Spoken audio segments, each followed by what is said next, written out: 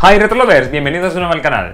Si bien hace algunas semanas subí un tutorial acerca de cómo montar vuestro proyecto de consola retro utilizando para ello Batocera y un PC, y en esa explicación lo que utilizábamos para hacer la instalación eran dos unidades USB, una para el sistema y otra para lo que serían los archivos, ROMs, BIOS y demás, y viendo que algunos de vosotros habéis preguntado acerca de cómo se realizaría la instalación utilizando para ello un disco duro interno, en este tutorial vamos a ver cómo sería la instalación de esta manera.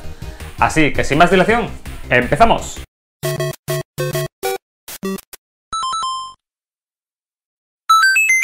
Lo primero es repasar qué necesitamos para hacer una instalación en un disco duro interno. Para esto usaremos un adaptador para leer discos duros SATA o IDE para poder conectarlo de este modo a nuestro PC. En Amazon se pueden localizar por un precio de unos 28 euros. Este en concreto es polivalente para cualquier tipo de disco duro y la verdad es que hasta el momento estoy contento con él.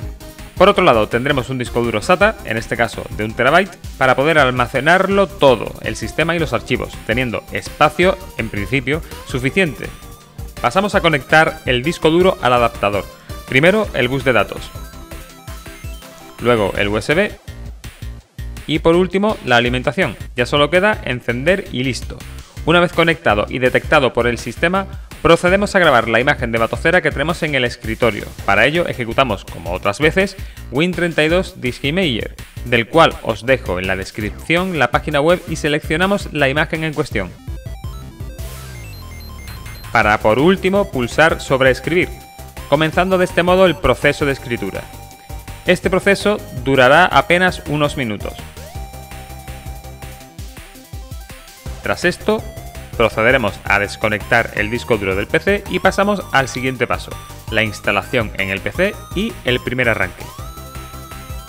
Pasamos a abrir ahora el PC donde vayamos a montar el sistema e instalaremos el disco duro de la manera habitual conectando el cable SATA y su alimentación. Ahora llega el momento de arrancar el sistema Batocera por primera vez. En este primer arranque vemos cómo se termina de configurar la unidad, incluyendo el redimensionamiento de la misma. Dado que es un terabyte el que se tiene que redimensionar, tardará algunos minutos, así que toca armarse de paciencia hasta que termine. Una vez acabado, Batocera arrancará finalmente. Si entramos en el menú de Batocera, en System Settings, vemos como a priori la unidad que aparece para el almacenamiento de los datos es la interna, es decir, la misma unidad donde hemos instalado el sistema. Si tuviéramos otra unidad conectada al PC, la podríamos seleccionar en este punto. Ahora llega el momento de realizar la transferencia de ROMs y BIOS. Para ello necesitaremos en primer lugar tener nuestro PC con Batocera conectado a la red local de nuestra casa a través de un cable de red y en segundo lugar necesitaremos un segundo PC desde el cual volcar los archivos. Desde este segundo PC también conectado a la red abriremos el explorador de archivos. Cliquearemos en la barra superior y tecleamos backslash backslash batocera y pulsamos intro. Si las conexiones están como deben, automáticamente entraremos a través de la red local a nuestro PC con Batocera. Veremos una carpeta de red llamada Share, que seguramente a muchos de vosotros os sonará bastante si habéis trabajado con Recalbox, ya que es el mismo nombre de la carpeta de datos que encontrábamos para este sistema.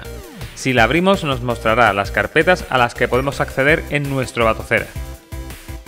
De todas las carpetas que vemos, las que ahora nos interesan para poder empezar a jugar son BIOS y ROMs.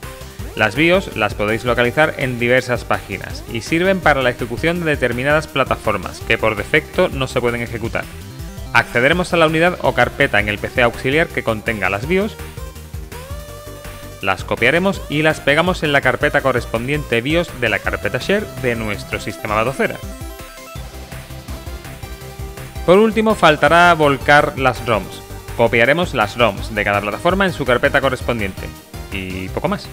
Ya tendremos un sistema Batocera completamente autónomo. Es una manera de instalar Batocera más conveniente cuando vais a usar el PC como recreativa en exclusiva, por ejemplo, dentro de una cabina arcade.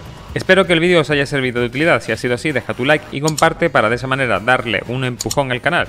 Deja tu duda o sugerencia en la zona de comentarios y si no lo estás, por supuesto, suscríbete y dale a la dichosa campanita. Poco más, nos vemos en el siguiente vídeo del canal. ¡Hasta luego, Retrolovers!